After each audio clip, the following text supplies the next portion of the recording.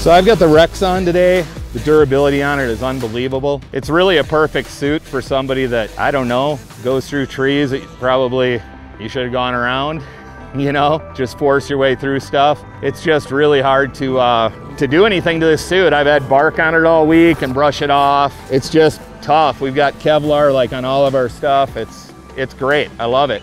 It fits really good. It's not baggy. And the breathability on this Sympatex is amazing.